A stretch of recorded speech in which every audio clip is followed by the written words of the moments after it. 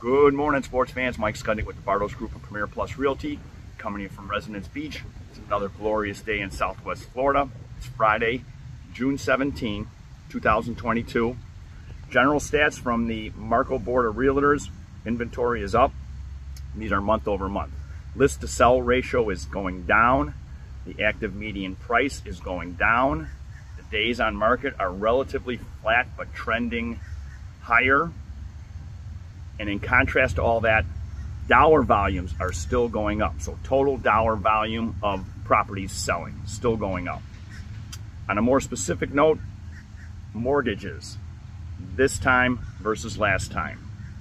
In 2022, there are only 2.5 million, 2.5 million adjustable rate mortgages.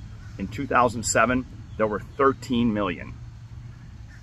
Adjustables that are going to be resetting in 2022, there's only 1.4 million adjustable rate mortgages that are going to be resetting to the new higher rates. Fed just raised three quarters of a point.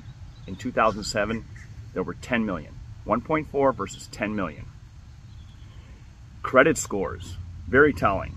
In 2010, average credit score was 699. In 2022, the average credit score is 751. That's a big difference there's $11 trillion in tappable home equity today. 11 trillion. This time is not like last time. Mike Skudnig with the Bartos Group of Premier Plus Realty.